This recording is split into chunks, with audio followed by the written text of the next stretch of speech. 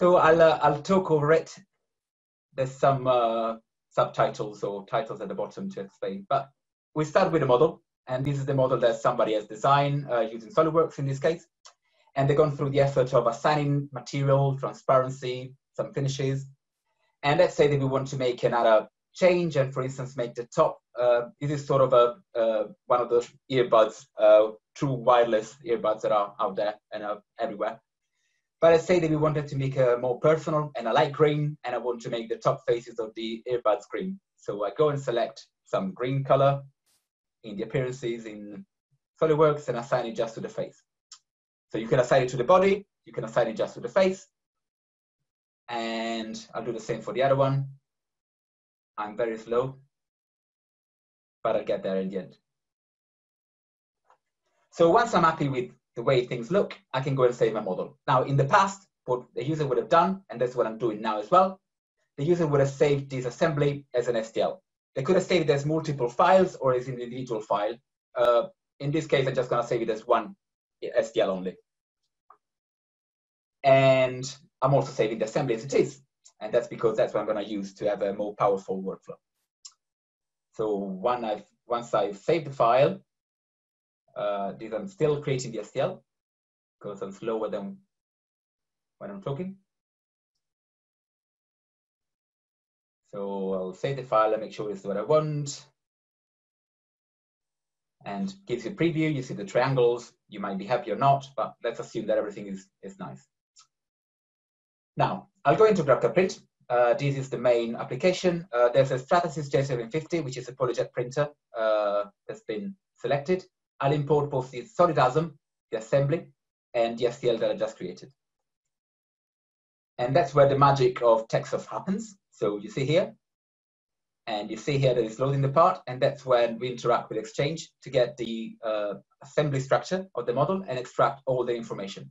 And you see the first difference. This is my STL. It's coming up as white. That's because the default material is white. And this is what we get from HOOPS. And it's got all the colors that I wanted, including the transparency. So if the aim was just to print what I designed, I'm done. I just need to, print, to press print uh, and I'm done.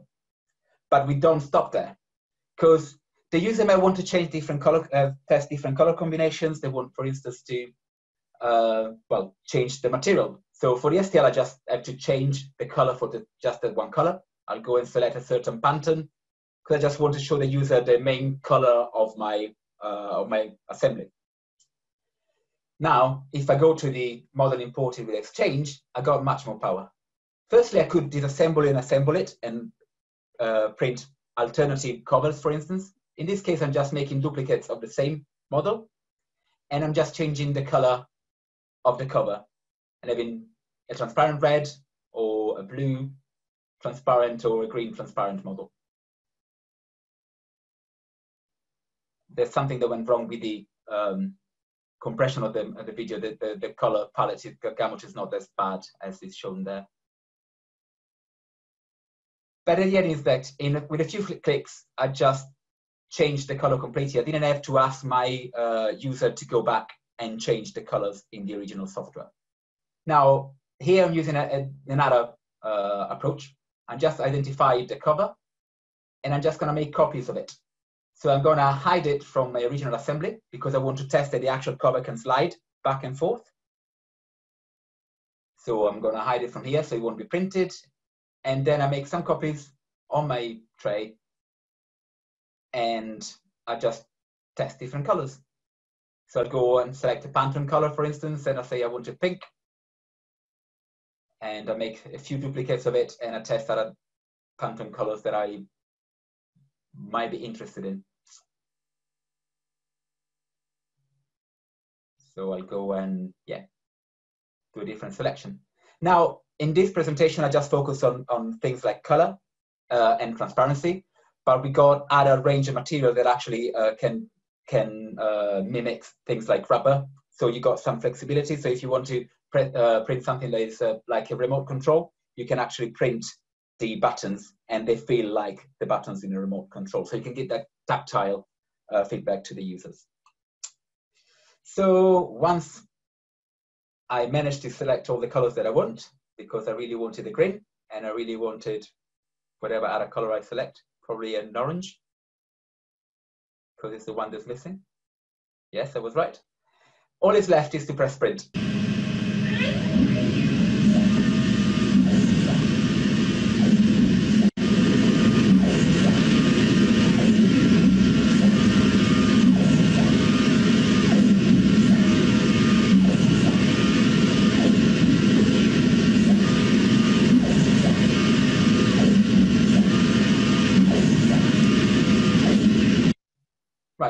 Few hours later, because I'm not claiming that it's going to be very quick, what you'll have is, well, the printed models. Here is something that I had in a presentation because, well, uh, the office is closed, as you might know, like, but I managed to go to the office and print some.